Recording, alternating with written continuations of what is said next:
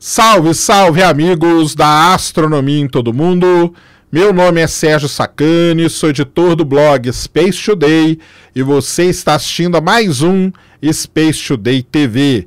No programa de hoje vamos ver que o telescópio espacial Hubble conseguiu testemunhar e ver a formação de uma tempestade, de uma mancha escura em Netuno.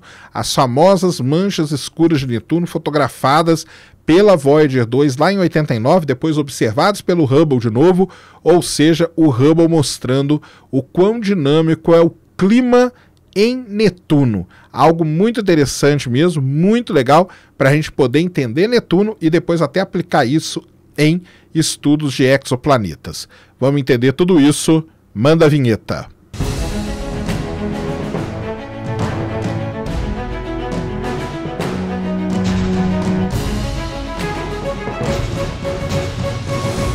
Muito bem, pessoal, vídeo novo aqui no canal. Antes do vídeo começar, você já desce aí, já deixa o seu like, já se inscreve no canal para você não esquecer durante o vídeo e para ajudar a causa da divulgação científica no Brasil. Convido vocês para mais um papo aqui sobre astronomia, uns 10, 15 minutinhos aí para a gente bater um papo e hoje é sobre o planeta Netuno. Netuno, Urano e Netuno, vocês sabem, né, conhecidos aí como os planetas esquecidos do sistema solar, só visitados até hoje por uma sonda, a sonda Voyager 2, isso mesmo.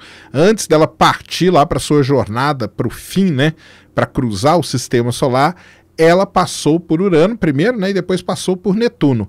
E quando ela passou por Netuno, lá em 1989, a Voyager 2 fotografou ali o que a gente vê de Netuno, basicamente sua atmosfera, igual a gente vê em Júpiter, igual a gente vê em Saturno, mas quando ela fez as imagens de Netuno, apareceu ali uma grande mancha escura, que recebeu até esse nome, Grande Mancha Escura. Tá? Então isso é muito interessante. Além da grande mancha escura, ela também detectou uma mancha um pouco menor que foi chamada de mancha escura 2. Tá? Então essas duas grandes formações, essas grandes tempestades aí na atmosfera de Netuno foram detectadas pela sonda Voyager 2 em 1989. O tempo passou, o Hubble foi lançado, o Hubble teve problema, o Hubble foi arrumado, e em 1994 o Hubble estava observando o planeta Netuno quando ele notou que a grande mancha preta, a grande mancha escura, ela tinha diminuído de tamanho e a pequena mancha já havia desaparecido da atmosfera de Netuno. Isso aí chamou muito a atenção de, dos cientistas planetários, porque a gente está acostumado com Júpiter. Júpiter tem a grande mancha vermelha, que no mínimo ela está aí desde o primeiro dia que a gente observou o planeta, desde, sei lá, 350, 400 anos, a grande mancha vermelha está ali persistente no planeta Júpiter. Já Netuno não. Quando o Hubble observou em 94, ele viu que aquela mancha estava diminuindo. E aí, o que pode estar tá acontecendo, né? E não para por aí essa história. Em 2015, o Hubble observou de novo Netuno. E quando ele observou Netuno de novo, o que, que ele viu? Ele viu uma pequena mancha de novo, tá? Ele, ele viu ali uma manchinha se formando.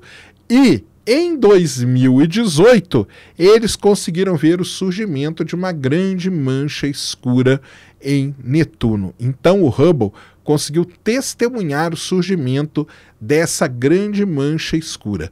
O Hubble, para quem não sabe, eu já falei aqui, né, ele tem um projeto que ele observa os planetas externos do sistema solar. Se chama OPAL Outer Planet Atmosphere Legacy. Então ele faz rodadas de observação de Júpiter, Saturno, Urano e Netuno para tentar entender a dinâmica da atmosfera, o clima nesses planetas, que é algo muito interessante de se entender, e é com isso que ele faz. Então ele faz rodadas de observação então ele fez lá em 94, depois ele fez de 2015 a, a, de 2015 a de 2018 e tudo mais. Enquanto os pesquisadores vão vendo isso, eles viram essa grande mancha escura diminuir de tamanho e depois aumentar de novo. Eu falei aqui da grande mancha vermelha, deixa eu só falar uma coisa para vocês que eu já fiz um vídeo, mas agora também foi reforçado semana passada naquele congresso que estava tendo, que a grande mancha vermelha de Júpiter ela está sim diminuindo, tá? Só que ela no mínimo já perdurou aí por 350 anos na atmosfera do gigante gasoso do sistema solar. Netuno, né, observando, ele tem uma atmosfera muito dinâmica, como vocês podem perceber, né? É, ele possui não só essas manchas escuras, mas ele possui é, nuvens aí que aparecem brancas, né, nas imagens, essas nuvens mais claras, que são formadas principalmente de metano e cristais de gelo. E os pesquisadores notaram que essas nuvens mais claras, elas surgem como companheiras das manchas escuras. As manchas manchas escuras, elas são tempestades que acontecem em pontos mais profundos da atmosfera do planeta. E igual a gente tem na Terra, nuvens lenticulares que ficam ali em cima de vulcões, em cima de altas montanhas, os pesquisadores falaram que essas nuvens brancas de Netuno, elas seriam como as nuvens lenticulares aqui na Terra. Então elas ficam pairando ali perto dessa grande mancha escura que é formada. Com todo esse trabalho que eles fizeram, né, 94, 2015, 2018 e tudo mais, os pesquisadores estão conseguindo calcular a frequência com essa com, a, com, as quais, né, com a qual essa tempestade surge em Netuno. Então eles usam não só as imagens que eles fazem, mas eles, eles tentam também modelar isso computacionalmente para entender a dinâmica da atmosfera de Netuno. Eles chegaram à conclusão que entre 4 e 6 anos ocorre a formação dessas manchas escuras e que elas perduram aí até 6 anos, né, que seria o tempo máximo, sendo que o mais comum é elas durarem 2 anos, ou seja, a cada 2 anos uma mancha dessa diminui e depois forma de novo, depois essa mancha toda ela, ela desaparece, dali 4 anos ela se forma de novo e por aí vai.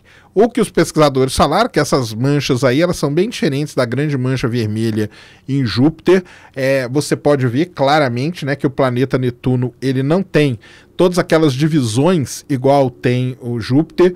Aquilo lá é muito importante que aquilo ali meio que confina tá a grande mancha vermelha numa banda ali e ela fica né, numa faixa ali da atmosfera e ela fica ali. Netuno não. Netuno teria essas, essas faixas, só que elas seriam muito mais largas e acabariam não influenciando tanto assim, não mantendo ou mantendo. Eles ainda não entendem muito bem o clima, né, de Júpiter, ou de Júpiter, de Netuno e a dinâmica da atmosfera de Netuno, por isso que eles estão fazendo todos esses estudos. Eles chegaram a calcular a velocidade do vento ali também, que deu estimar, né? Pelo menos calcular vai ser difícil, de 100, quilô, é, 100 metros por segundo, tá? 100 metros por segundo é a velocidade do vento ali, uma velocidade que até se equipara com as velocidades encontradas na grande mancha vermelha de Júpiter. Os astrônomos falaram que eles querem continuar observando Júpiter, como eu falei, tudo isso pertence ao projeto OPAL, O-P-A-L, Outer Planet Atmosphere Legacy.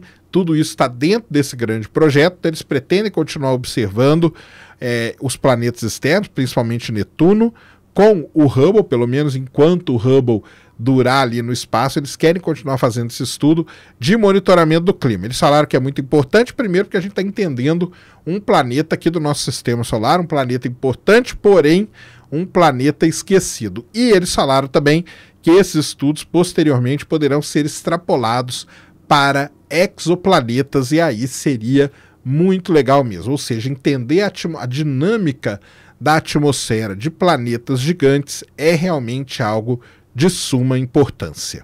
Muito bem, então. Tal como Netuno é um planeta, Netuno é um planeta esquecido, mas aqui no Space Today ele é sempre lembrado, principalmente quando tem essas belas imagens que o Hubble faz aí dele, para a gente tentar entender toda a dinâmica do planeta. Lembrando também, só mais uma informaçãozinha extra, lá durante aquele congresso foi proposto também uma, um envio de uma missão para Netuno, uma missão muito legal que ela chamaria, para Netuno não, né? Para o seu satélite maior, que é Tritão. E essa missão chamaria Trident, né? Tridente, que é muito legal também, que tem a ver, mas o tri ali no começo é Tritão alguma coisa, tá? E, mas não tem nada a ver, mas também ficaria aí uma simbologia bem interessante. Beleza? Então temos que conhecer todos os planetas do sistema solar bem, temos que entender toda a dinâmica da atmosfera de Netuno também, porque isso aí vai ter consequências num futuro não muito distante, assim esperamos.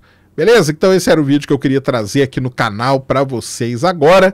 Tá aí, ó, como vocês já sabem, kit da Space Today, kit do Space Today, lá na spacetodaystore.com, camisa polo, bordadinho a logo ali, bonitinho o nome.